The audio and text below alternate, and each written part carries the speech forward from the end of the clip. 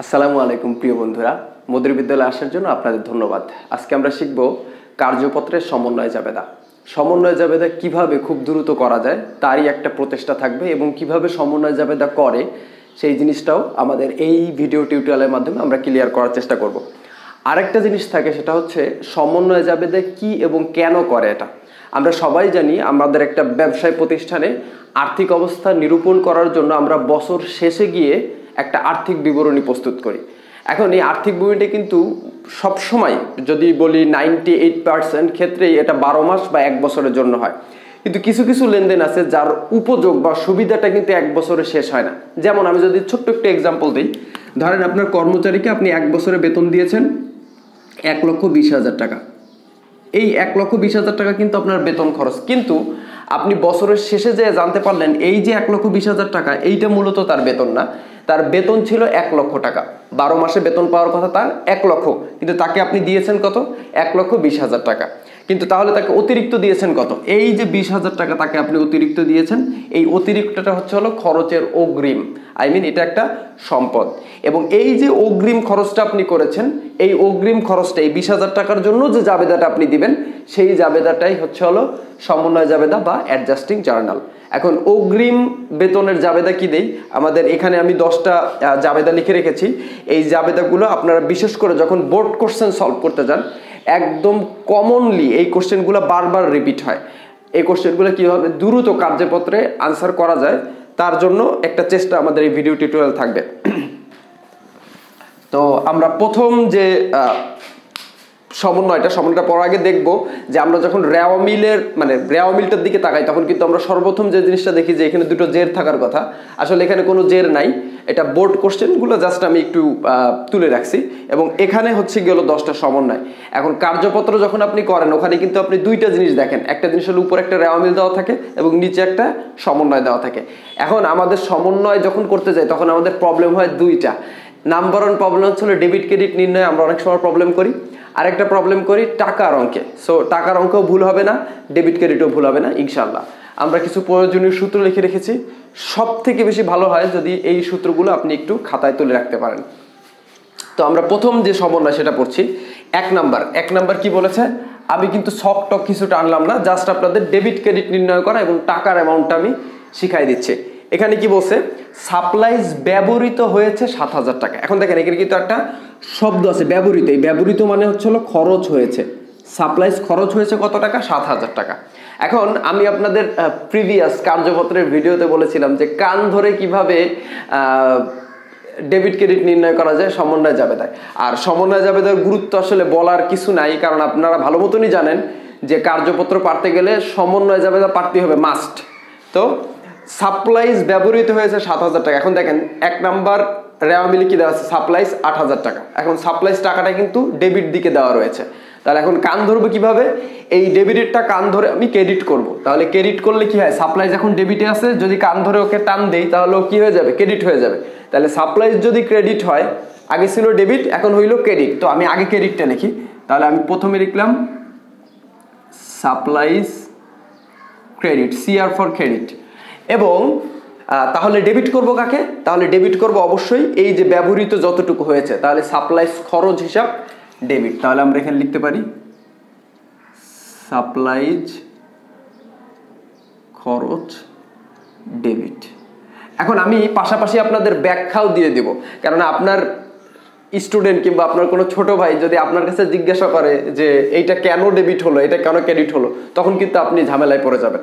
তো কান ধরার সিস্টেমটা তো বুঝে গেলাম যে ডেবিটে আছে এর জন্য কান ধরে ওকে ক্রেডিট করলাম আর সাপ্লাইজ খরচকে আমরা ডেবিট করে ফেললাম। এখন টাকা কত লিখব?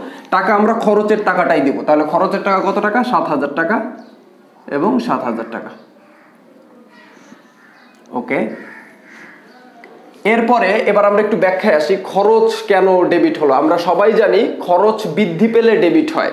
খরচ বৃদ্ধি পেলে ডেবিট হয় এবং সম্পদ হ্রাস পেলে ক্রেডিট হয়। এখানে সাপ্লাইসটা সম্পদ হিসাবে আছে।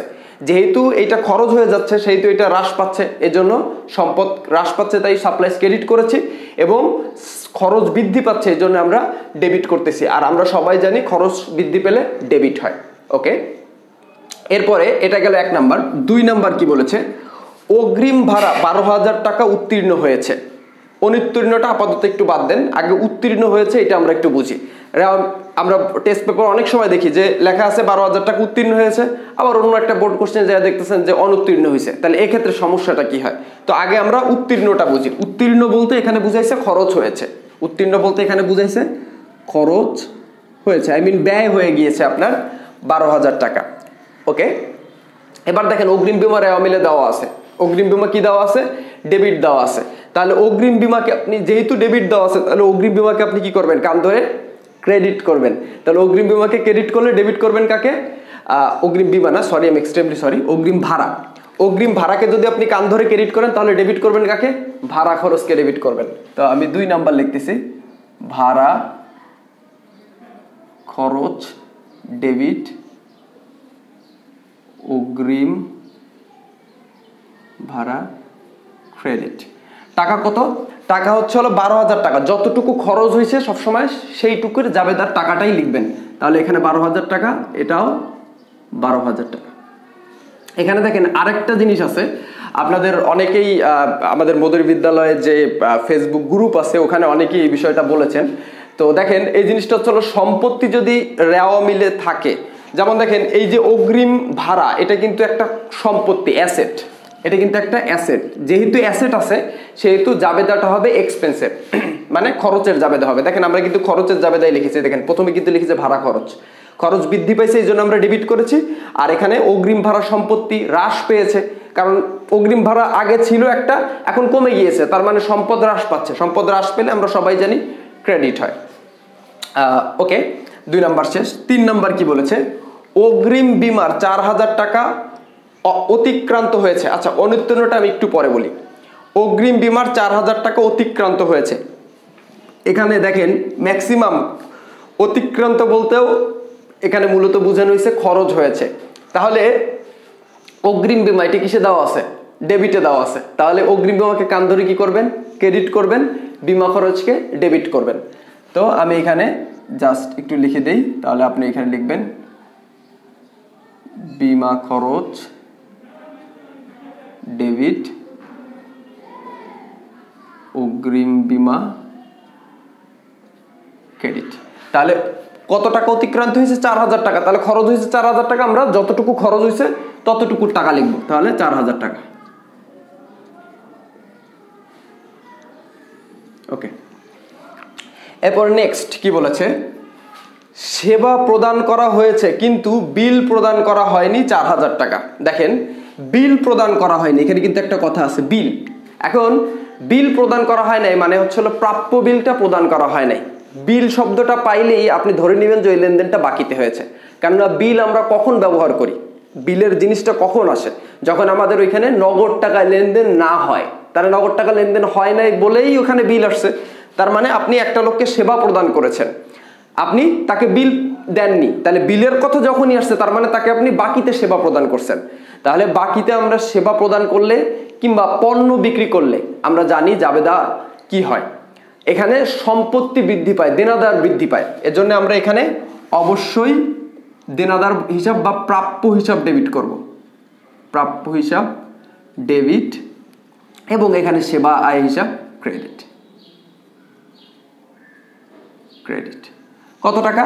সেবা প্রদান করা হয়েছে চার হাজার টাকা। তাহলে আপনি এখানে চার হাজার টাকা লিখবেন। যত টাকার সেবা ধারে প্রদান করছেন, শুধু তত টাকারই সমন্বয় দিয়ে দিবেন।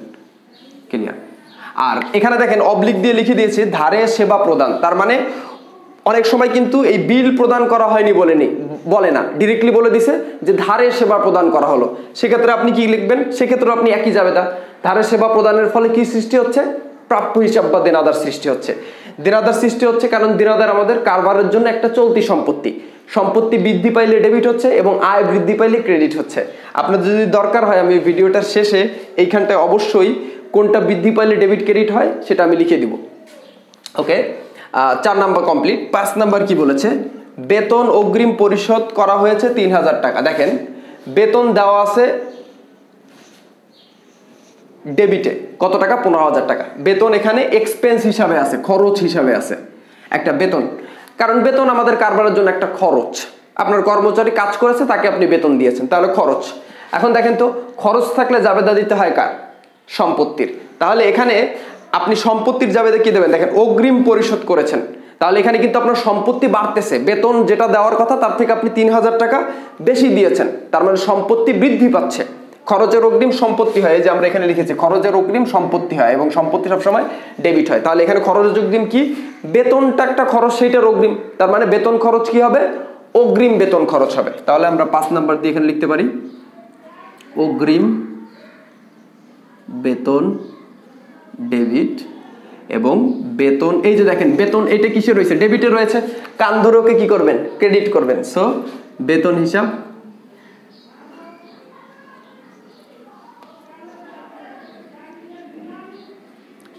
কত টাকা আপনি অগ্রিম দিয়েছেন? যতটুকু সম্পত্তি, ততটুকু টাকা।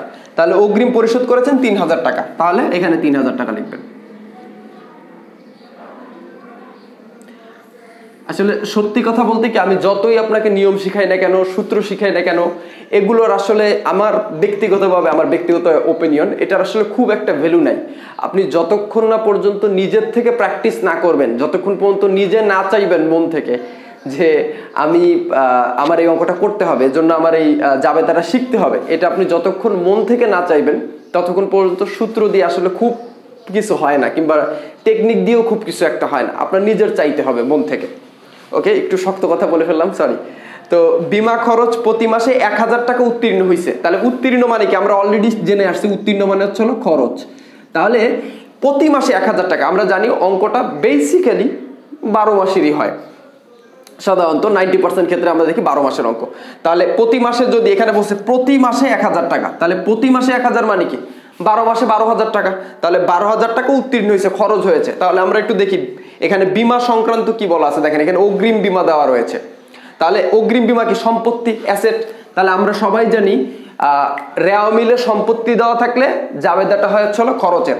তাহলে অগ্রিম বিমা ডেবিটে দেওয়া আছে দেখেন টাকাটা। তাহলে ওকে কান ধরে কি করতে হবে? ক্রেডিট করতে হবে। তাহলে অগ্রিম বিমাকে আমরা ক্রেডিট করব। আমি আগে ক্রেডিটটা লিখি। অগ্রিম বিমা ক্রেডিট তাহলে ডেবিট হবে কি? বিমা খরচ ডেবিট কারণ এখানে খরচ হয়ে যাচ্ছে। যেহেতু এখানে বসে উত্তীর্ণ, বিমা খরচ সব ডেবিট কতটুকু খরচ হয়েছে? এখানে কি এক হাজার টাকা? না। বারো মাসে বারো হাজার টাকা। এক হাজারকে বারো দিয়ে গুণ দিতে হবে। তাহলে কত টাকা? বারো হাজার টাকা। এখানটা আপনি যদি খেয়াল করেন, দেখেন এখানে কিন্তু খরচ বৃদ্ধি পাচ্ছে, এজন্য সম্পত্তি সরি খরচ বৃদ্ধি পাচ্ছে এই জন্য ডেবিট হচ্ছে, আর এখানে সম্পত্তি হ্রাস পাচ্ছে। কারণ অগ্রিম বিমা আগে ছিল কত টাকা? তিরিশ হাজার টাকা। এখান থেকে বারো হাজার টাকা কমে গেছে। এই যে বারো হাজার টাকা কমে গেছে, তার মানে সম্পত্তি হ্রাস হচ্ছে। সম্পত্তি হ্রাস পাইলে ক্রেডিট হয় আর সম্পত্তি বৃদ্ধি পাইলে ডেবিট হয়। তো এরপরে কি বলেছে? বিমা খরচ কমপ্লিট। এরপর বলছে ও অব্যবহৃত মনিহারি পাঁচশো টাকা। এখানে পাশে লিখে রাখছি ব্যবহৃত।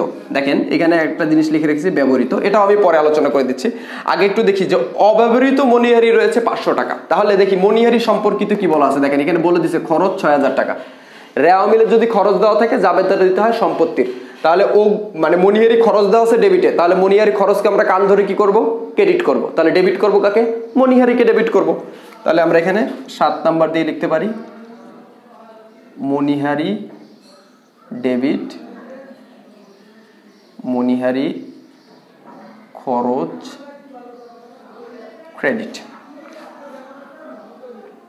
ওকে তো অব্যবহৃত মনিহারিত মনিহারি রয়েছে পাঁচশো টাকা। এখন এখানে অব্যবহৃত বলতে বুঝাইছে যেটা ব্যবহার করা হয়নি মানে এটা সম্পত্তি রয়ে গেছে। এটা হলো একটা, এটা হলো একটা সম্পত্তি বা অ্যাসেট তাহলে দেখেন, আপনি এখানে কি জাবেদা করলেন? মনিহারি হিসাব ডেবিট আর মনিহারি খরচ হিসাব ক্রেডিট টাকা কত? অব্যবহৃত যেটা রয়েছে সেইটা। তাহলে এখানে মনিহারি অব্যবহৃত রয়েছে মূলত পাঁচশো টাকা। ওকে আর এখানে যদি আমরা একটু ব্যাখ্যা করি, তাহলে কি দাঁড়ায়? যেখানে দেখেন মনিহারি একটা সম্পত্তি, এখানে সম্পত্তি বৃদ্ধি পাচ্ছে। যেহেতু এখানে সম্পত্তি, অব্যবহৃত বলতে সম্পত্তি বুঝাইছে, যে সেহেতু এখানে আমরা সম্পত্তিকে ডেবিট করলাম, সম্পত্তি বৃদ্ধি পেয়েছে এর জন্য। আর মনিহারি খরচ এখানে কিন্তু হ্রাস পাচ্ছে। খরচ বৃদ্ধি পাইলে ডেবিট হয়, কিন্তু খরচ হ্রাস পাইলে কিন্তু ক্রেডিট হয়। সুতরাং মনিহারি খরচ ক্রেডিট পাঁচশো টাকা ওকে আই হোপ আপনারা বুঝতে পারছেন। একটু হয়তো বাঁকাই যাচ্ছে। তারপরে আট তারিখ কি বলছে? আট নম্বর। অগ্রিম বিমার চার হাজার টাকা অতিক্রান্ত হয়েছে। এখানে আবার আসছে, দেখেন, অতিক্রান্ত। অতিক্রান্ত বলতে কি? খরচ হয়েছে। তাহলে দেখেন, অগ্রিম বিমা কই বলা আছে? যে অগ্রিম বিমা। তাহলে অগ্রিম বিমা কি সম্পত্তি? অ্যাসেট। যেহেতু এটা হচ্ছে হলো অ্যাসেট, সেহেতু এটাকে আমরা কি করব? কান ধরে এবার ক্রেডিট করব। তাহলে অগ্রিম বিমাকে ক্রেডিট করতে হবে, বিমা খরচকে ডেবিট করতে হবে। আমি সম্ভবত এই তিন তারিখেই আট নাম্বারটা করে ফেলেছি, তাহলে এটার আর করার দরকার নেই। এই যে, এটার আনসার হচ্ছে হলো এইখানটায়। ওকে এরপরে নয় তারিখ কি বলেছে? বেতন ও মজুরি বকেয়া রয়েছে চার হাজার টাকা। দেখেন, বেতন বলেন, মজুরি বলেন, যেটাই বলেন দেখেন দুইটাই দেওয়া আছে। দুইটাই হচ্ছে গেল এক্সপেন্স খরচ। রেয়া মিলে খরচ দেওয়া থাকলে আমরা সম্পদের জাবেদা দিই। এখন দেখেন, এখানে কিন্তু বলছে বকেয়া রয়েছে। তার মানে দেখেন, এখানে কিন্তু সম্পদের জাবেদা দিলে হবে না। কেন হবে না? কেননা এই যে খর, বেতন মজুরি দুইটাই কিন্তু খরচ। এবং এইখানে যখন বলে বকেয়া, তার মানে খরচের বকেয়া কি হয়? দায় হয়। তাহলে দেখেন এখানে লেখা আছে যে খরচের বকেয়া, দায়। এবং দায় সবসময় কি হয়? ক্রেডিট হয়। তাহলে এখানে আপনি এই মজুরি বলেন আর বেতন বলেন, একই কথা। ধরেন আমরা প্রথমটা ধরে নিলাম মজুরি বকেয়া রয়েছে চার হাজার টাকা। সেক্ষেত্রে আপনি তাহলে জাবেদা কি দিবেন? জাবেদা কিন্তু এবার দিতে হবে একটু উল্টিয়ে। সেক্ষেত্রে এবার কি করতে হবে? বকেয়া বেতনকে ক্রেডিট করতে হবে এবং বেতন খরচকে ডেবিট করতে হবে। এখানে আমরা লিখতে পারি বকেয়া সরি বেতন খরচ বা বেতন হিসাব লিখলেও হয় ডেবিট সরি ক্রেডিট কতটুকু বকেয়া রয়েছে? চার হাজার টাকা। আর যখন মজুরির ব্যাপারটা আসবে জাস্ট এখানে বেতনের এখানে মজুরি লিখে দিতে পারেন। এখানে বেতন মজুরি ছাড়াও অনেক কিছু থাকতে পারে। এখানে শিক্ষানবিশ ভাতা থাকতে পারে। এখানে ব্যবসার যে কোনো খরচ হইতে পারে। ঠিক আছে? এই। তো বেতন মজুরি বকেয়া রয়েছে চার হাজার টাকা। তাহলে আমরা সেটার ক্ষেত্রে এই যাবে তারে দিব। বেতন খরচ হিসাব ডেবিট, বকেয়া মজুরি, ক্রেডিট। যদি মজুরি থাকে, তাহলে মজুরি খরচ হিসাব ডেবিট, বকেয়া মজুরি, ক্রেডিট। এখন এখানে যদি একটু ব্যাখ্যা করেন কেন ডেবিট ক্রেডিট হলো? দেখেন, এখানটায় কিন্তু আপনার দায় বৃদ্ধি পাচ্ছে। যেহেতু এটা বকেয়া রয়েছে, বেতন এক বেতন মজুরি এই দুটো হলো একটা খরচ এবং বকেয়া। দায় বৃদ্ধি পাইলে কিন্তু ক্রেডিট হয়। এই যে আমাদের সূত্রে বলা আছে লেখি নেই, আমি এখনই লিখে দিচ্ছি। দায় বৃদ্ধি পেলে ক্রেডিট হয়। সেই জন্য আমরা বকেয়া বেতনকে আগে ক্রেডিট করেছি। আর বেতন খরচ, এই যে দায় বৃদ্ধি হইল, আপনার বেতনটা তো যেহেতু বকেয়া বাদাইছেন এখনও দেননি, বেতনটা আজ হোক কাল হোক কর্মচারীকে দিতে হবে। যখন দিতে হবে, তখন ওইটা আপনার খরচ হয়ে যাবে, এজন্য আপনি বেতন খরচকে ডেবিট করেছেন। ওকে লাস্ট কমিশন অনাদায়ী রয়েছে দুই হাজার টাকা। দেখেন, কমিশনের টাকাটা দেওয়া আছে ক্রেডিট দিকে, এটা হচ্ছে একটা রেভিনিউ মানে আয়। এখন, এখানে যদি আয় থাকে, সেক্ষেত্রেও আমাদের সম্পদের জাবেদাই দিতে হবে। যদি এখানে খরচ না থেকে আয় থাকে, সেক্ষেত্রেও সম্পদ বা দায়ের জাবেদা দিতে হয়। তাহলে আমরা নিচে কি বলেছে দেখি? আয় এবং এখানে দেখা যাচ্ছে কমিশন অনাদায়ী। অনাদায়ী বলতে হচ্ছিল যেটা এখনও আদায় হয়নি মানে বকেয়া রয়েছে। এক কথায় যদি বলি, বকেয়া। তাহলে এখানটা যদি একটু খেয়াল খেয়াল করেন যে আয়ের বকেয়া কি হয়? সম্পত্তি। সম্পত্তি সব সময় ডেবিট হয়। তাহলে আপনি এই যে অনাদায়ী কমিশন, অনাদায়ী কমিশনকে তাহলে আপনি কি করবেন?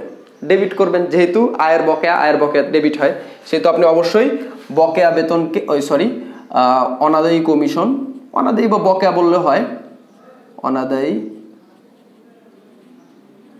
কমিশন ডেবিট আর কমিশন ক্রেডিট তো এই ক্ষেত্রে একটু ব্যাপার মাথায় রাখতে হবে, সেটা হচ্ছে হলো, এখানে কিন্তু ক্রেডিটে রয়েছে, এজন্য যে কান ধরে এটাকে ডেবিট করতে হবে, জিনিসটা কিন্তু তা না।